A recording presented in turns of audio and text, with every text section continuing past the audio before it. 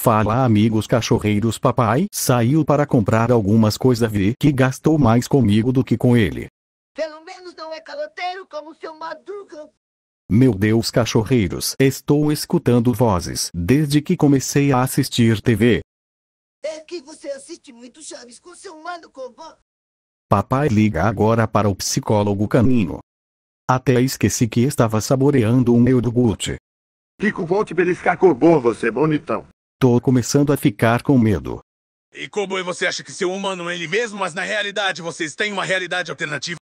Tem muitos cowboys com seu humano, mas...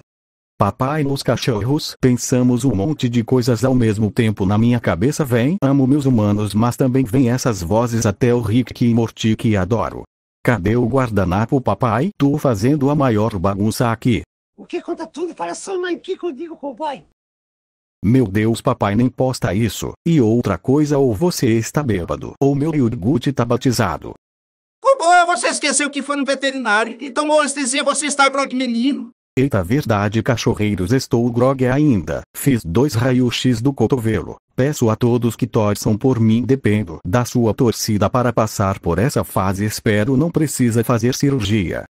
Desse jeito, seu papai vai ficar devendo 14 meses de aluguel no veterinário. Somos parceiros eu e meus humanos vamos até o fim. Não criamos pânico, estamos na torcida, vai dar tudo certo, siga minhas mãos. Isso aí chapulim pessoal. Torçam assim que sair os resultados falamos aqui até logo.